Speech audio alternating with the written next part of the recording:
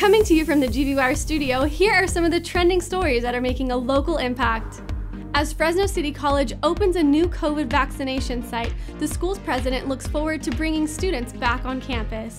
Right now, we have plans for about 30% of return of some type of on-ground activity, with the possibility of expanding, maybe even up to 50% if our community gets healthier.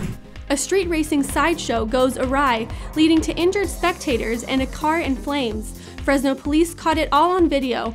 There was a display of speed, uh, lost traction, and then made a hard right turn into some cars that were parked there, possibly watching this thing happen.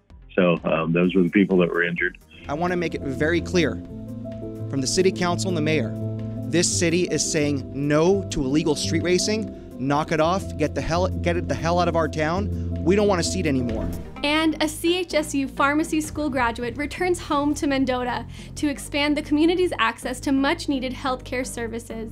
I decided to give back to the community something, especially that, you know, there's something in need in this community, a community pharmacy, uh, which would provide for a lot of people. I know a lot of people that, uh, uh, you know, can't drive um, to another city. It's not, there's, uh, transportation is an issue for them. So uh, hopefully this filled the gap and um we're excited about it. Join the conversation on those stories and more now on GV Wire.